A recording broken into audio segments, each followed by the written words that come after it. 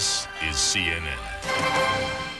In other news, a San Francisco couple tried for years and they thought they would never have a baby. And then they received some help from a fertility specialist. Yeah, he did a bit of tweaking on their situation. we'll have that story for you in a bit. But first, the allergy forecast.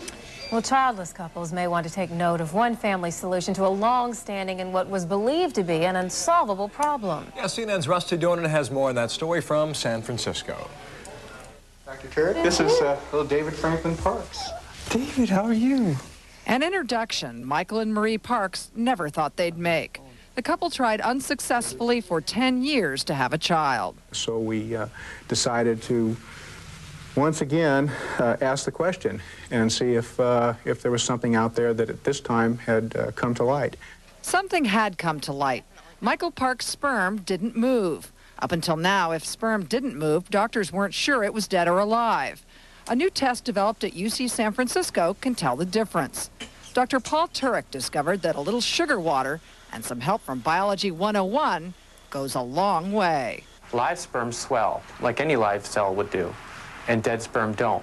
And this is based on high school biology that I learned called osmosis. The swollen sperm is then prodded. It tweaks a sperm that's not moving and can, and can determine whether it's alive or not. If it's alive, it can be used for a pregnancy.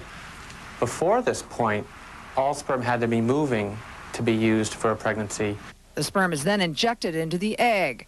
The procedure failed twice for the Parks, and then doctors tried again. When she came in that day and said, it's positive, I said, what's positive? And it took a few seconds for me to realize what we were talking about. He was in denial. He didn't want to get his hopes up.